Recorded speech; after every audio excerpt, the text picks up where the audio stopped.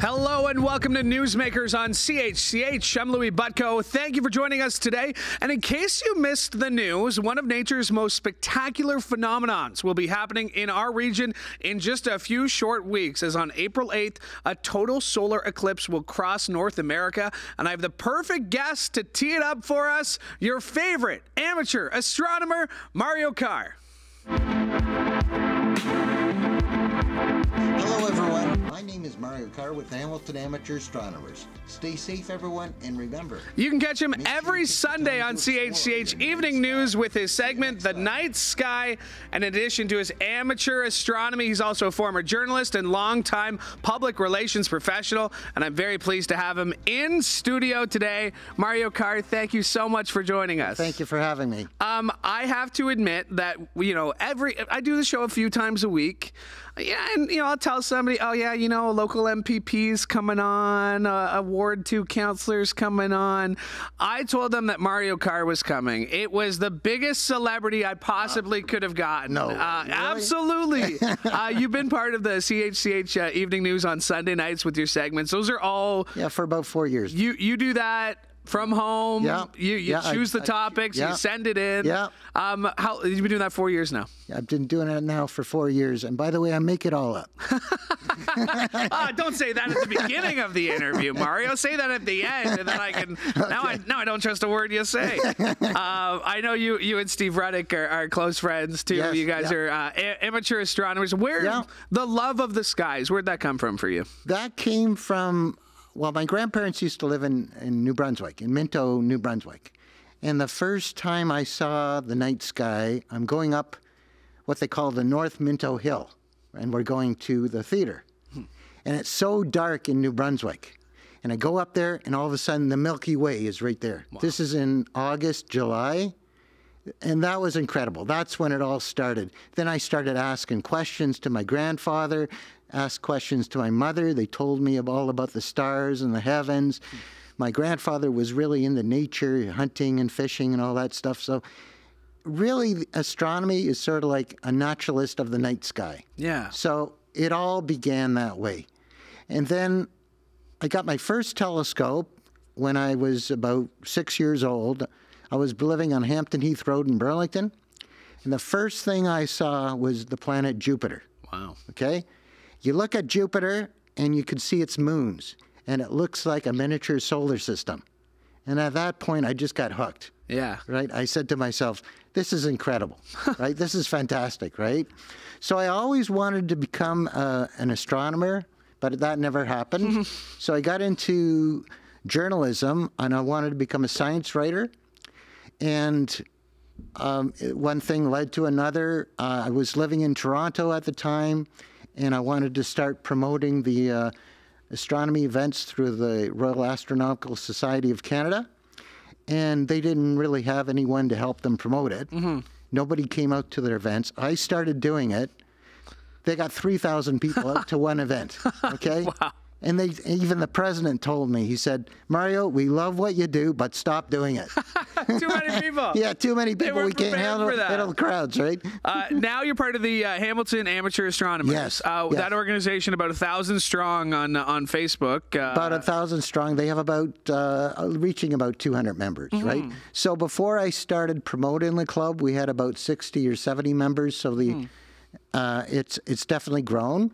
The other thing too is uh, we are now the largest independent astronomy group in Canada. wow. Okay, the main one is the Royal Astronomical Society of Canada.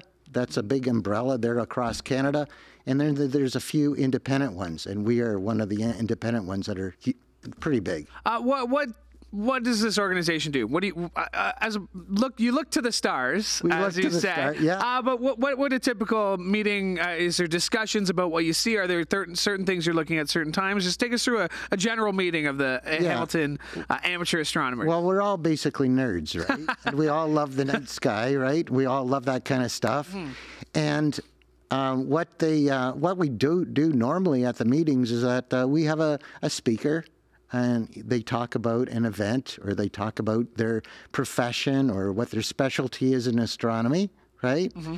Then after that, we have somebody talking about what's going to happen in the night sky for this month. Okay. Right?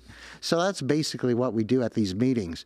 We also, uh, one of our mandates is to outreach. So we're we're supposed to do a lot of outreach in the Hamilton area, and that's what we're doing now. I would say uh, this show uh, maybe a little outreach. Uh, Yeah, of course, I reached out to you, so we're gonna cl- we're gonna count that too. That's right. Uh, let's talk about uh, the eclipse. How long? How long has this been on your radar?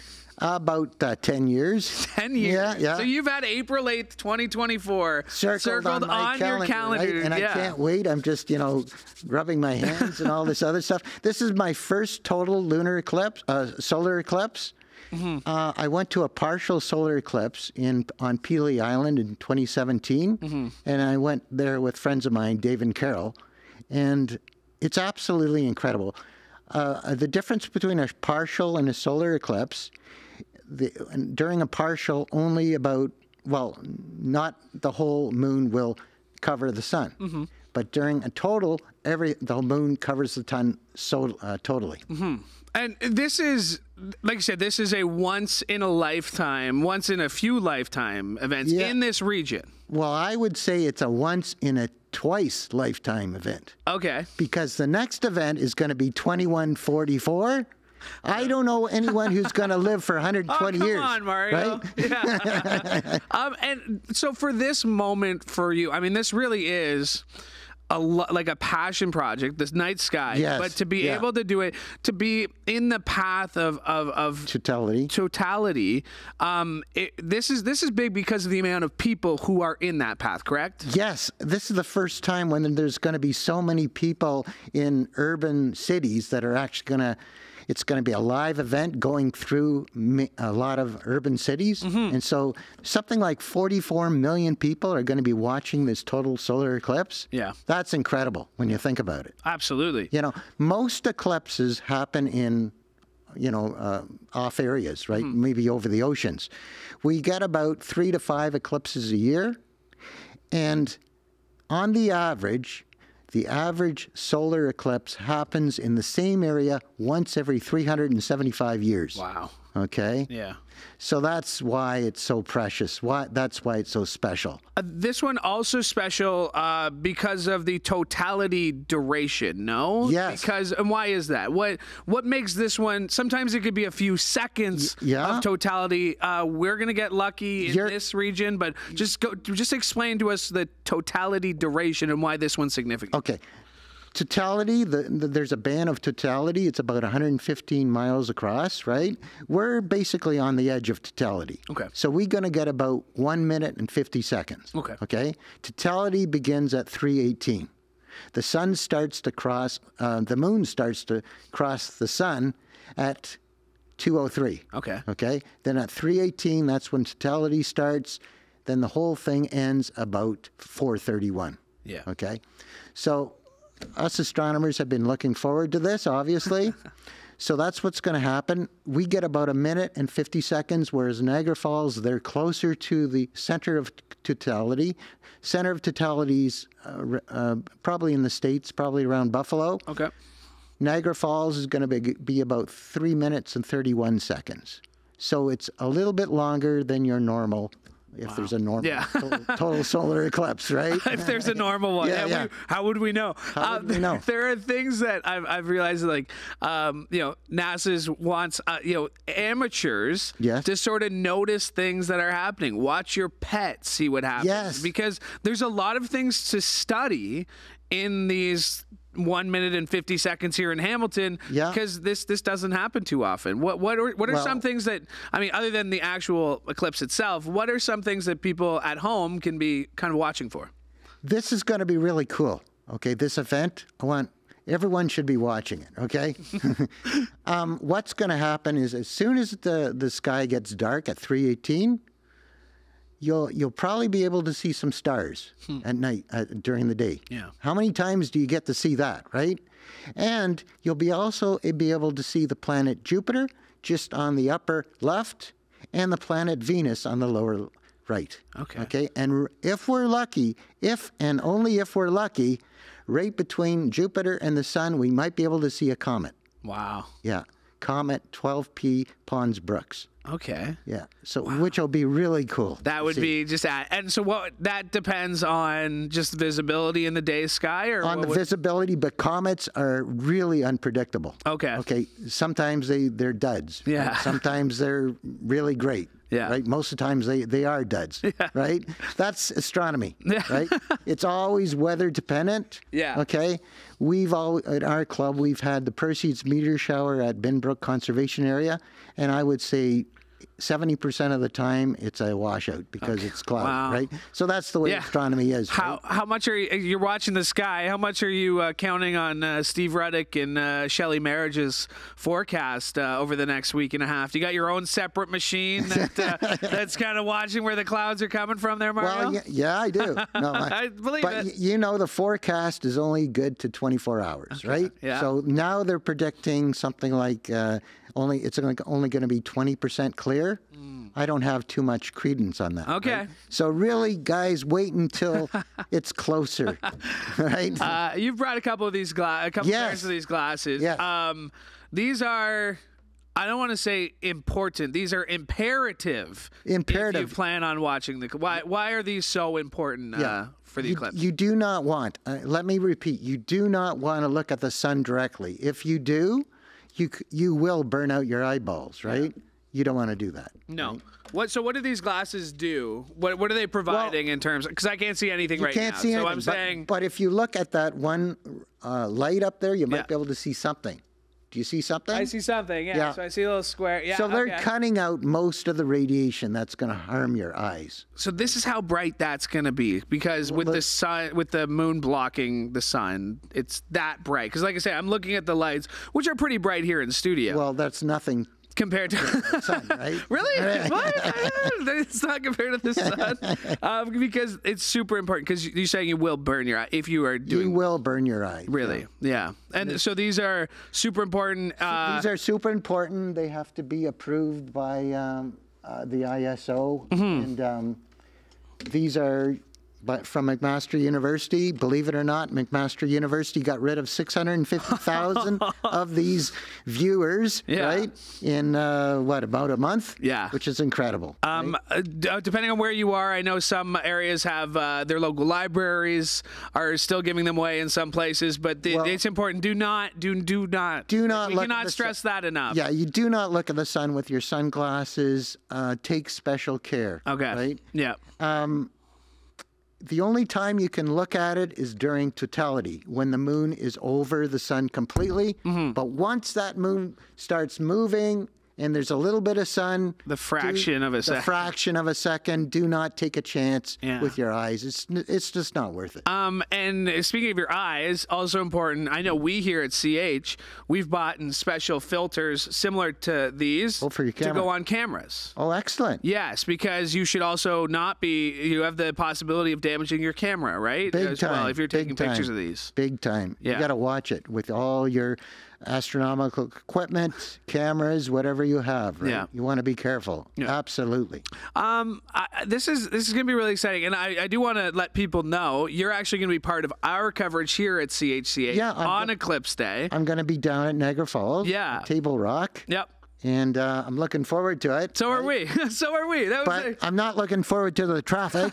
It's one million people. yes, that's what they're saying. This could be the, the biggest tourist event ever in Niagara Falls, and that's saying something because the falls are, are pretty nice to look at too. But Oh, I think uh, that between the, the falls, and I'm really looking forward to being down there as well. I will let our listeners, our viewers know that CHCH is going all out for Eclipse coverage. Uh, we'll have coverage on Morning Live. Uh, we'll be going live at 3 o'clock with the special programming, uh, and uh, 6 o'clock, of course, to recap the whole day. And like I said, I'm, I'm very, look, very much looking forward to being in Niagara Falls, a place you know 30 minutes down the road from where I grew up, uh, to get to see this once in a lifetime Excellent. um, event. Uh, let's look to the skies a little bit more. Other than the eclipse, what are you looking for uh, as as the season turns to spring?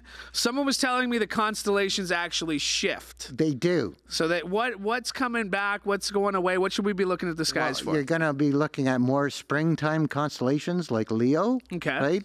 And springtime is definitely the season of of galaxies. Okay. Right. So there's a lot of galaxies that you can see in the uh, sky at that time. Um, this time, I know sometimes in Burlington and Hamilton, um, Niagara, Toronto, light pollution is, is a real thing, right? Yes, light definitely a pollution real is a thing. real thing. You know, you'll go to the cottage, you'll go a few hours up north. Um, it- that's the one thing with me is every time I go to, to my cottage or somebody's cottage, the the one thing you say is, "Look at all the stars." Yes. Uh, How do you combat you? How do amateur astronomers combat light pollution? Are there particular spots in the region that are that are better? Like how? Because it, it does it does sometimes put a no pun intended put a damper on what you're seeing up there. Oh, it does, big time. And um, so what a lot we at the club, our area, our observing site is the Binbrook Conservation Area. Okay. It used to be really good, but now with all the building in Binbrook, it's not as great as it used to be. Yeah. Right. So that's the unfortunate part of. Of uh, when we Yeah, build up look into the new, skies, Yeah, yeah. exactly. And also too, um, what I like to do is I like to observe early in the morning Hmm. Because I find there's less light pollution. There's less, less people on the road. Maybe some lights are off, right? Mm-hmm. And also too, the best things to see, in my opinion, are things that are close to the Earth, like the moon. I love, I can observe the moon for hours through my telescope. I've been doing that since I was a kid. You know, you feel, you put on high power and you feel like you're jumping around the moon, right? And it's just great to see. And also Jupiter. Ju- and all the planets, they're so bright you can really see them from your backyard, Yeah. right? So there's a few things that you can see as well, and also there's uh, light filters that you can use on your uh, uh, telescopes as well. So somebody is gonna see the eclipse, and I, I- more than a few people are just gonna be blown away by the the significance of it. Right? We're Yeah. we're just we're so little, and I think that's that's what people that's what scares people when they look to the It's skies. true, it's Right? true. They- we are nothing. The little insignificance of what we are in the galaxy and things like that. But if someone catches the bug, somebody looks to the skies, they see a comet, they see Jupiter, they they see this this natural phenomenon in front of them, where would they go after April 8th to continue to build? How would you encourage them? Maybe they don't have money for uh, a telescope right now. Maybe it's something that they can start. What is something that you would do to help encourage more people to look to the skies? Well, they can come out to our club. Mm-hmm. Okay, our club is a great resource, and we also have a uh, lender scope program, so people without telescopes can actually use.